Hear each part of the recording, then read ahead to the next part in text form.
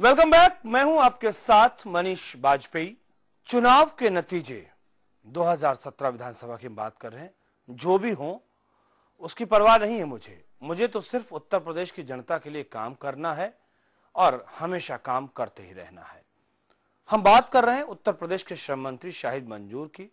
जितना श्रम करते हुए वो दिखाई दे रहे हैं, शायद ही कोई दूसरा कैबिनेट मिनिस्टर इतनी मेहनत कर रहा हो, लगातार जनता की सेवा में।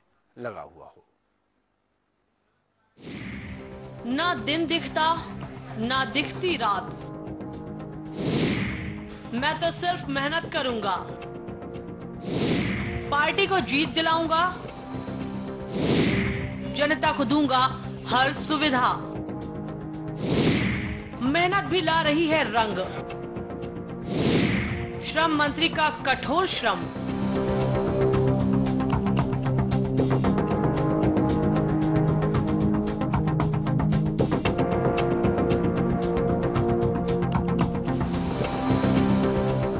कहते हैं चाहे सियासी कुर्सी हो या फिर कोई और कुर्सी, बिना मेहनत के कुछ नहीं मिलता। मेहनत करो तो सब कुछ मिलता है। दरअसल समाजवादी पार्टी में कुछ ऐसे नेता हैं जो 2017 विधानसभा चुनाव में जीत दिलाने के लिए पूरे दमखम से जुटे हुए हैं। श्रम मंत्री शाहिद मंजूर जितना श्रम करते हुए दिखाई दे रहे हैं, शायद ही कोई दूसरा कैबिनेट मिनिस्टर इतनी मेहनत करता हुआ दिखाई दे। उत्तर प्रदेश में संवेदनशील सरकार है और माननीय मुख्यमंत्री जी ने हर इशू पर संवेदनशीलता दिखलाई है। चुनावी वर्ष है, लेकिन मुख्यमंत्री जी ने पहले वर्ष से ही विकास पर ज़ोर दिया है। और हम ये कह सकते हैं कि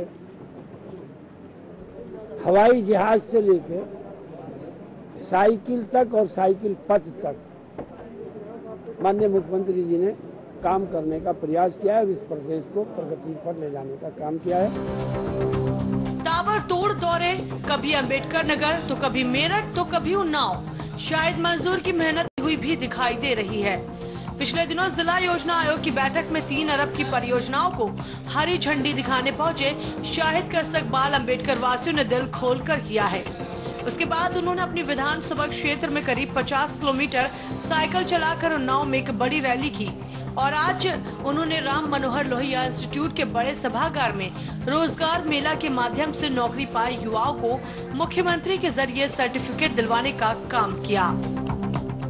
सरकार में समाजवादी पार्टी की सरकार में जहाँ विकास की बात हो रही है, जहाँ तरक्की की बात है, जहाँ भाईचारे की बात है, उत्तर प्रदेश की सरकार किसी भी क्षेत्र में पीछे नहीं है।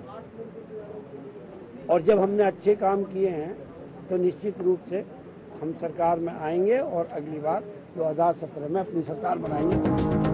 फ़िलहाल श्रम मंत्री शाहिद मंजूर के काम से पार्टी भी बेहद खुश है। और पार्टी आलाकमान खुश भी क्यों ना हो? जो इकलौते मंत्री हैं, जो 2017 की जंग में जीत को तब्दील करने में एड़ी से लगाकर चोटी तक का ज़ोर लगा दिया है, लेकिन अब देखना दिलचस्प होगा कि 2017 के विधानसभा चुनाव में श्रम मंत्री का श्रम कितना कारगर साबित होगा, ये तो आने वाला ही वक्त बताएगा। लखनऊ से के न्यूज़ के लिए शबी हैदर की रिपोर्ट।